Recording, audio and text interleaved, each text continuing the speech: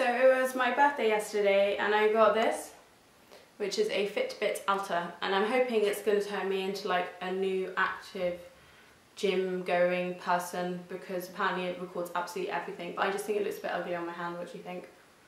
And also why isn't the time always there? It drives me crazy. I have to like twist my hand or like tap it. anyway, why am I putting off the start of this video? Because it's on the Haber process, equilibria, reversible reactions, which is a pretty stinky topic and everyone seems to hate it that I teach it to. But you guys have to learn it, so I'm going to try to do my best in order to teach it you properly. right, remember with reversible reactions, it's reactions where reactants react together to produce products and then the products break apart to produce the reactants again, which react together to produce the products. So it goes round and round and round and it's a pretty crappy situation for um, manufacturers to be in because at the end of the day they want to make as much um, product as possible so they can make as much money as possible and the last thing they want is those products breaking down to produce the reactants again. So we need to try and alter the conditions to cause as much as many of the products to be produced as possible. I hope this isn't reversing because of the way the camera is. Just remember the products is obviously on the right hand side of the equation. Right, so in a dynamic equilibrium, um, what's happening is both the forward and reverse reactions are occurring at the same rate. Dynamic means that both reactions are occurring because it's the opposite of static, which means that nothing would be changing. And equilibrium means that effectively the concentrations of both the reactants and the products remain the same. Now, have you, do you understand the words exothermic and endothermic? It's really crucial that you do in order to understand what's going on in this topic. Remember, an exothermic reaction is something which gives out heat. So what you will feel is that the reaction chamber will get hotter and examples of that are obviously combustion, which is burning, and also neutralization reactions. That's when you have an acid and alkali, which react together to produce a salt, plus water. So, those are exothermic reactions give out heat, and if you look at the delta H, which will be given by the equation given in the reaction, you'll see that it's delta H negative, meaning that heat energy is given off. It's really important that you recognise delta H negative as being exothermic, otherwise you can't even begin to get these marks in these questions. When we now look at endothermic reactions, remember these take in heat energy and what you'll actually feel is that the whole reaction chamber will get cooler.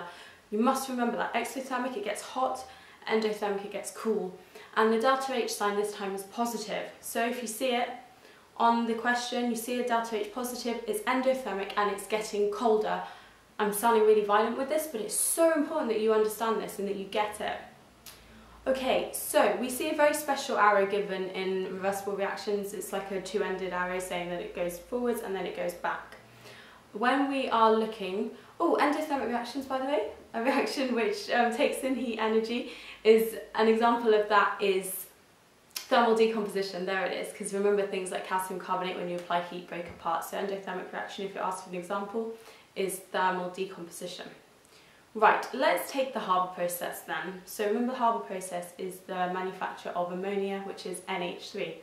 What we do in the Haber process is we get nitrogen gas from the air, we get hydrogen from water, I think it's from water, and then you react them together to produce ammonia but because it's a reversible reaction you find that the ammonia breaks apart to produce the um, nitrogen and the hydrogen again so it's fairly annoying and what you need to do is encourage the most amount of ammonia to be made. It's really important now that I point out the difference between yield and rate of reaction. Yield is literally the amount that you make so you want a higher yield as possible, okay? Rate of reaction just means how quickly the reaction is occurring and it's to do with collision theory. It's to do with how quickly those particles collide and come together. However, even if they collide, they may not necessarily produce the product. It may just be a rubbish reaction and they may just like bump off of each other again. So it's important that you realise that a high rate of reaction doesn't necessarily mean that there'll be a high yield. Right, so in ammonia we can see from this equation that the forward reaction is exothermic. That means it gives out a lot of heat energy and the whole thing gets hot. What you need to understand with these reactions is that any change you make to the reaction conditions will be opposed i.e. the reaction will try to remove that change you've added. So if you add heat, the reaction is going to favour either the forward or reverse reaction, but whichever one reduces the amount of heat, i.e. makes it cooler. So if we look at the Haber process as our example, we can see that the forward reaction is exothermic, i.e. it gets hot. So how do we favour that forward reaction? Well, we decrease the temperature in order to produce a high yield. So We lower the temperature, we say the equilibrium position moves to the right. Why? Because the forward reaction is exothermic and that's how you need to word these answers.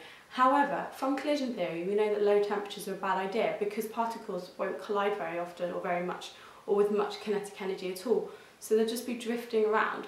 So we say that the reaction conditions in the manufacture of ammonia are compromised because actually we, use, we need to use the temperature, which both gives a high enough yield to make it worthwhile, while, but also gives a high enough rate of reaction to cause the nitrogen and the hydrogen to collide enough. So we need to use 450 degrees Celsius as our compromise temperature, which let's be honest doesn't sound very low at all, even though I just said a low temperature produces a high yield. You're going to have to say 450 degrees is used as the compromise because it creates a high enough temperature for high rate of reaction, but low enough temperature to produce a high yield, seeing as the forward reaction is exothermic. Next we need to look at pressure, and this time remember pressure is only associated with gaseous reactions, so when gases react together, and what you need to do here is count the number of moles of gas on each side of the equation. So remember, it would have been really helpful if I'd actually remembered to look up the equation for ammonia. Darn it. Let me think. Okay, so I now have the equation. So remember, you need to count the numbers, which is the big numbers in front of each compound or element to work out the number of moles of gas on each side of the equation. So if we look, look at the left-hand side of the Haber process equation, the ammonia manufacture equation, we can see that one mole of nitrogen reacts with three moles of hydrogen. So if you add those two numbers together, you see that there are four moles of gas on the left-hand side. However, on the right-hand side, it's 2NH3, so there are two moles. So it's four moles left-hand side, two moles right-hand side. Please let me have said those numbers right. So which side has a fewer number of moles of gas? Well, the right-hand side. So if I am trying to encourage the right-hand side, remember, whatever I change the reaction ch uh, change I make to the reaction chamber, the reaction will try to oppose the change. So if there are fewer moles on the right hand side, what I need to do is increase the pressure because if I increase the pressure, the reaction will try to decrease the pressure and therefore it needs to favour the side which produces the fewer number of moles of gas because that side will be at a lower pressure. I hope you understand that. I've increased the pressure, it favours the side which will decrease the pressure, so therefore it favours the forward reaction. So the position of the equilibrium will move to the right. So we can see in the Haber process, to get a high yield of ammonia, we need to use as high pressure as possible. However, again, we need to say that the pressure conditions are a compromise. We use actually a pressure of 200 atmospheres, which, is, which isn't actually that high. The reason why we have to use um, a compromised pressure is because very high pressures are very expensive and they are very dangerous, so we need to lower it slightly, even if that is um, going to affect the yield of ammonia. So we use 450 degrees Celsius, 200 atmospheres, and we also add an iron catalyst Right, why do we add an iron catalyst? Remember a catalyst speeds up the rate of reaction without being used up. So based on that definition, we know that adding the catalyst will increase the rate of reaction. The problem is it increases the rate of reaction of both the forward and reverse reactions. It has no effect on yield. So make sure you don't you don't actually accidentally start talking about yield if they ask you about a catalyst. It has no effect on yield whatsoever. Right, I think I'm basically done. That was kind of, yeah, I don't know. Remember that ammonia is super important because it contains lots of nitrogen, so it's used in things like fertilizers, um, such as ammonium sulfate. That's a compound that you will find in some fertilizers. I'm going to add the questions now, and um, please don't forget to like, comment, and subscribe because sometimes I just feel like I'm talking to myself, and um, it's really nice when you guys talk to me. So. Anyway, I'll try and not have such a massive gap between videos next time and I'll see you soon. Bye! I'm just going to put into practice what I was talking about just now. So we're going to look at this IGCSE question and it's going to be question 10. I should probably have gone there already to save time, stop wasting your time. Sorry about that. Right, question 10. Where are you? So, the Haber process is used to convert nitrogen and hydrogen into ammonia. Which raw material is the source of nitrogen? Okay, that's the air. B. The hydrogen for this process is obtained using reactions 1 and 2. Reaction 1, reaction 2. Predict what will happen to the equilibrium position in reaction 1 when the pressure is increased. Give a reason for your prediction. Okay, so let's hone in on reaction 1. Because we're talking about pressure, we're looking at the number of moles of gas on each side. So in reaction 1, on the reactant side, there are 2 moles of gas. And on the product side, there are four moles of gas. And remember, all I've done is added the big numbers together at the start of each element and compound. So we can see that there are more moles on the right hand side. So if I increase the pressure, remember, based on what we've learned about equilibrium, what the reaction will try to do is to decrease the pressure, so it will therefore favour the reverse reaction as that has fewer moles of gas. So in terms of our answer, we're going to write prediction, the equilibrium position will move to the left, and the reason for that is because that results in a decrease in the number of moles of gas. Part 2. Predict what will happen to the equilibrium position in reaction 2 when the temperature is increased. Give a reason for your prediction. Okay, looking at reaction 2 then, and we're talking about temperature. So now I need to look at the delta H symbol, and I can see that it's delta H equals minus 42. So that tells me automatically that it's exothermic. So we know that the forward reaction results in a lot of heat being released. Therefore, if I increase the temperature, I'm going to favour the reverse reaction because obviously I'm going to try and lower the temperature. So you need to say that the equilibrium position moves to the left and that's because you can say here because the forward reaction is exothermic or you can give the converse argument and say that the reverse reaction is endothermic. Predict what will happen to the rate of reaction one when the pressure and temperature are increased. Okay, don't get confused. Don't start looking at this and being like, oh, I don't know.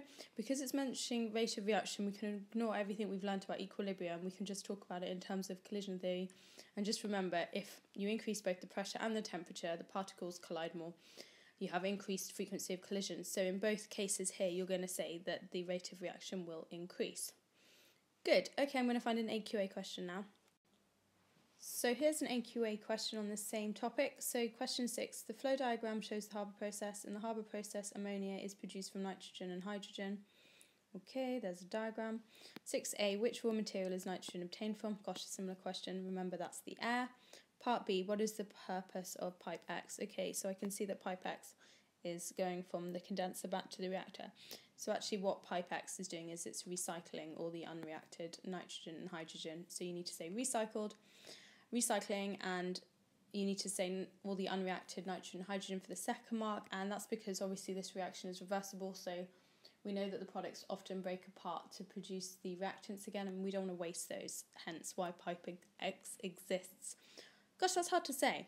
C. Balance the chemical equation below for the production of ammonia. Right, you'll need to do a number 3 in front of hydrogen and a number 2 in front of ammonia. Check out my video on balancing equations if you're not happy with why I said that. 60. A temperature of 450 degrees Celsius is used in the reactor. The reaction of nitrogen with hydrogen is reversible. The forward reaction is exothermic. Explain why a temperature of 450 degrees Celsius is the optimum temperature for this for the Haber process. So they've helpfully given you a lot of information there. Um, the fact that the forward reaction is exothermic tells us that a high yield is favoured by a low temperature. So you need to say here that you need to use a lower temperature in order to create a high yield. Um, but you also need to say that the fact is you need to have a high enough temperature in order to create a large enough rate of reaction, which is why the compromise of 450 degrees is used. 6e, an energy level diagram for the reaction between nitrogen and hydrogen is shown below. How does the energy level diagram show that this reaction is exothermic? So just use the, even if you don't know this off by heart, you haven't learned it, just use the diagram to help you. Remember on the left hand side you have the reactants, the right horizontal line is the products, so you can say here, see here that the products have less energy than the reactants, and that's all you need to say. So literally say what you see. In the Haber process, iron is used as a catalyst. Draw a line on the energy level diagram to show the effect of adding a catalyst. Remember, a catalyst offers an alternative reaction pathway with low activation energy, and all that means is you need to just draw another line on this graph following the exact shape of the first line, but make sure that the curve, so the peak of the line, is lower than the line drawn here. And then finally, I'm going to take another AQA question, and it's going to be question five, and again on the Haber process. So, in 1909, Fritz Haber invented a process to produce ammonia from nitrogen and hydrogen, complete and balance the chemical equation. Okay, like the other question then, but this time they haven't given you the formula of ammonia. Well, that's NH3, and the number you need to add to balance that is a 2, so you're going to write 2 NH3.